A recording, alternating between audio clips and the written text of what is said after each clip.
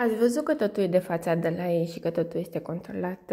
Cum uh, a început discuția Mihai cu Irina despre Andrei, imediat l-a tras atice de mână și i-a spus să, să se potolească.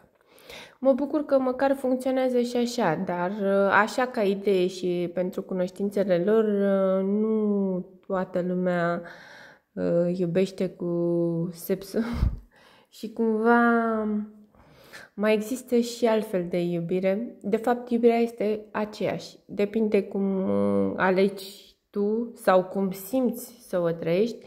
Din punctul meu de vedere, mi se pare extrem de real și de pertinent uh, ca să-ți trăiești iubirea cu respect, mai ales de față cu ceilalți, nu să te cauți uh, în pantaloni cu partenerul. În fine, Ă, știți ce vreau să spun?